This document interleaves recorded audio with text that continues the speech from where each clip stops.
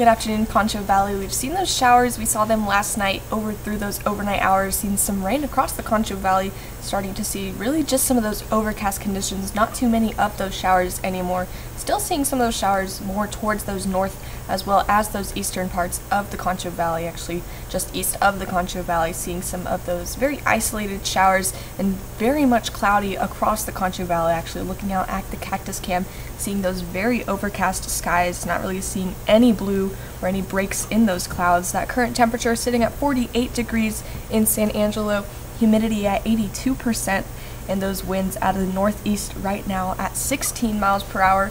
Those temperatures across the Concho Valley seeing that mix of those 40s as well as those 50s. Some of us reaching into those lower 40s, 44 in Big Lake, 45 in Ozona, and then seeing some of us barely reach into those 50s, a lot of 50s, and 53 as well in Junction as well as Mason and seeing those very similar conditions across much of the Concho Valley.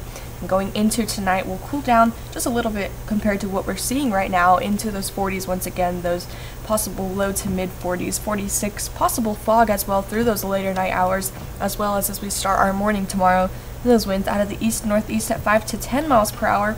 And going into that afternoon tomorrow, still continuing those pretty cool conditions, a little bit of a warm up as compared to what we saw today, and still holding on to about a 20% chance at seeing some showers across the Concho Valley with those winds out of the east. Still pretty calm and only at about 5 to 10 miles per hour. Make sure you join us at 10. I'll tell you how much rain we got across the Concho Valley as well as how many showers we're going to see throughout the next couple of days. Make sure you tune in.